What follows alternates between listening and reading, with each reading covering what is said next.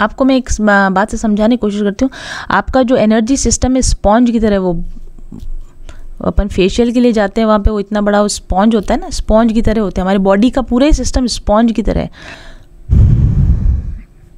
जैसे हमारी लंग्स होते हैं ना, सांस ली लंग्स स्पॉन्ज की तरह सारी सांस अंदर एब्जॉर्ब करी और सारा कार्बन डाइऑक्साइड बाहर निकाल दी।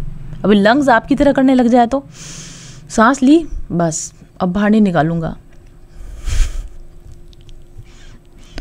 इसी तरह से आपका डाइजेस्टिव सिस्टम स्पंज की तरह होता। खाया, निकाला।